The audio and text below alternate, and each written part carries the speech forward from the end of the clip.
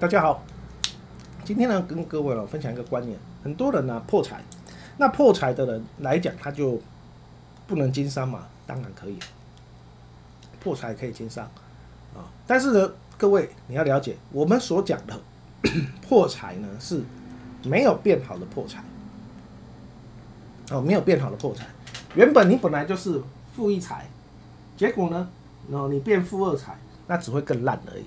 那我们讲的破财是说，你原本是破财啊，那你呢 还是一样是负一的，或者你原本是破两财，哎，变成负一，这个这个这个叫进财哦，啊，因为少变多，它就是叫进财哦，虽然它还是破，没有错哈。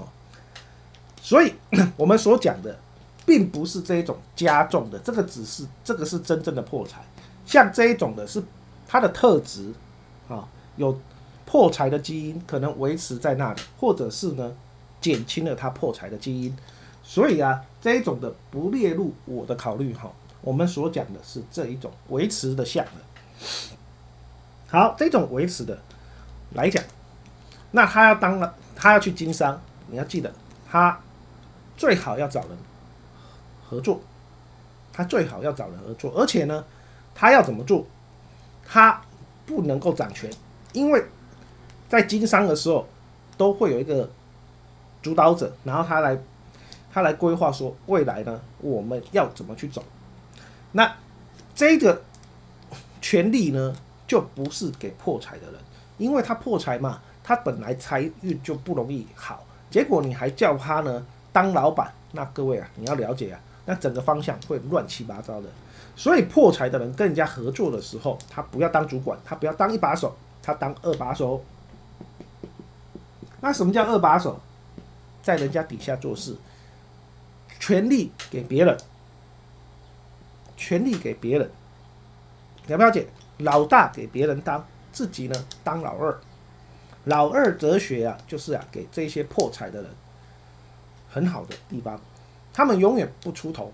啊，不出头，那为什么不出头？因为我破财，我所做的决定都会走向财运不好的这一块啊。那问题，我经商是要干嘛？我经商不是要做功德，我经商是要赚钱的。所以在这种情况下的时候，破财的人可以当老大吗？他可以当决策者吗？当然不行。所以当你了解你是破财的人，你跟人家合合作的时候，你就当老二。乖乖的，然后老大一定是要有财运，所以这边你要知道，你的合伙人不能够跟你一样是破财的。只要合伙人跟你一样是破财的，那两个人就是手牵手跳爱河，一起下地狱而已。所以你一定合伙的人，你一定是要找一个财运很强的，他财运要好的人，因为财运好的人当老板 OK 的，没事。为什么？你要当你要知道当老板的人呐，我们就以三国来讲。刘备很厉害吗？刘备论武力绝对输他的那一些手底下的猛将张飞、赵云、关公的。那论智慧，他旁边有那么多智将，还有一个诸诸葛亮。可是呢，为什么他当他当他当皇帝？这些那么有才华的人都听他的指挥，因为刘备有运。了不了解？刘备有运，有运有运的人，他。人家给他的建议 A、B、C，他随便选就会选对。那你没有运的人 A、B、C，就算了，里面三个里面啊有两个很好，他就偏偏会选到最烂的那一个，那就带领大家一同灭亡这样子。所以各位哦你要知道，当老大的人，他必须呢要有运，因为他的他不一定他的能力都比人家强，可是他他底下的这一些能高手能能。来跟他提供建议的时候，他最少会选出一个最棒的那个，你不要紧，因为有运嘛，会选到一个最棒的决策嘛。那没运的就选到最差的嘛，啊，所以各位啊，你要知道，哎，你是破财的人，那没有破财的人，那他怎么办？你就是当个将军，这样子去冲锋陷阵哦。人家跟你讲，呃，我们要做什么，什么样的方向，怎么样的规划，哦，好，OK，人家讲什么你就去做什么，就这样子。